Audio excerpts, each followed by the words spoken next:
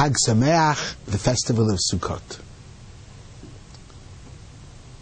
The festival of Sukkot, in addition to the Sukkah itself, our newfound home for a week, and I'm very proud of the fact that for the first time in a long time this year, we have a special sleep sukkah on the porch outside of our bedroom. But in addition to the mitzvah of Sukkot and Sukkah, is the mitzvah of the four species. And the four species, first and foremost, thanks God for the agricultural bounty. The particular four species require an abundance of rain, especially the willow, and they're indigenous to Israel. But it's really thanking God for our agricultural bounty.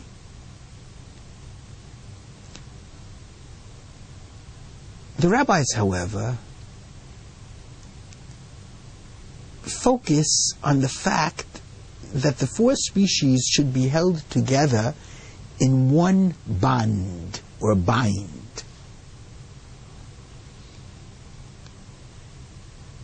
And what's fascinating about this is, from that perspective, it's a continuity of our prayer throughout the Rosh Hashanah Yom Kippur season, in which we ask for the entire world to be united in one bond in the service of the divine.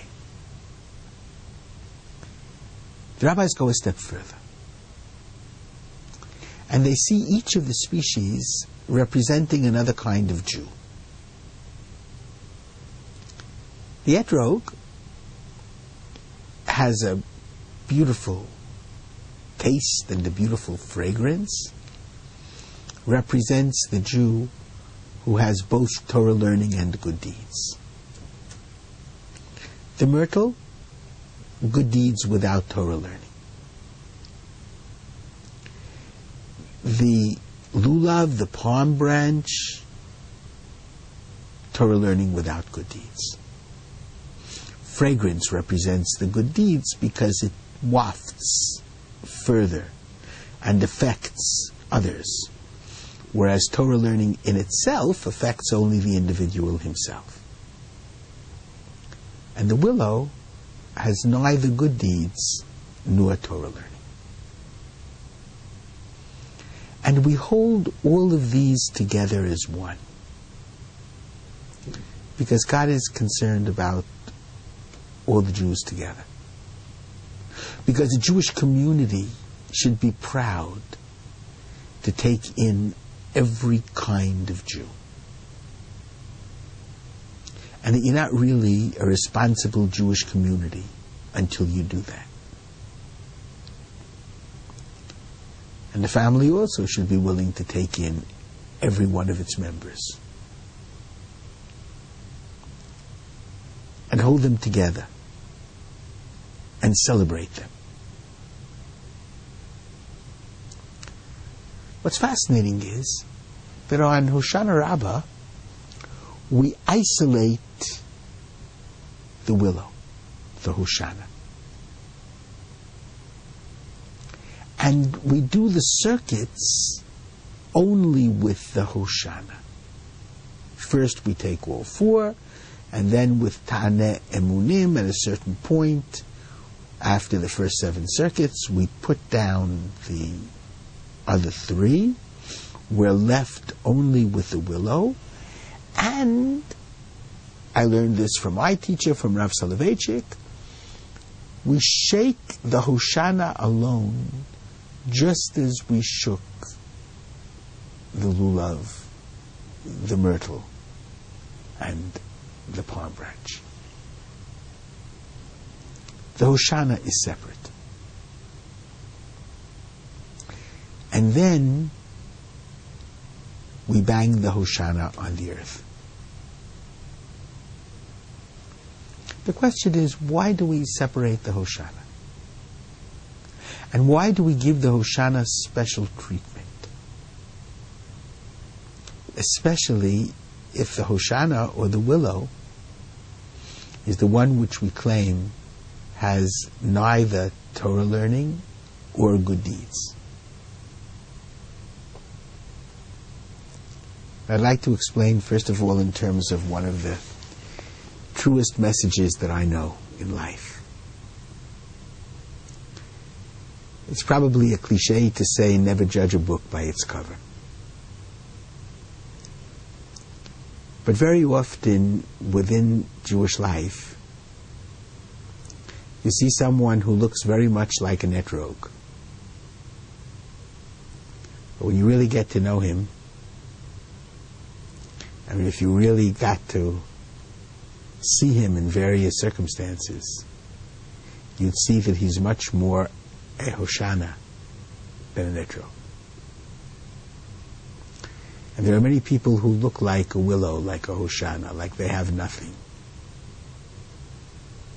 And when you get to know them, you're very much surprised by their depth, their insight, and their true and deep religiosity.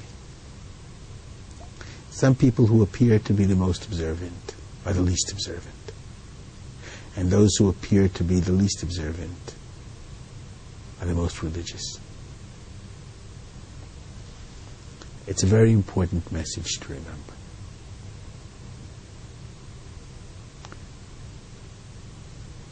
I would add one more thing.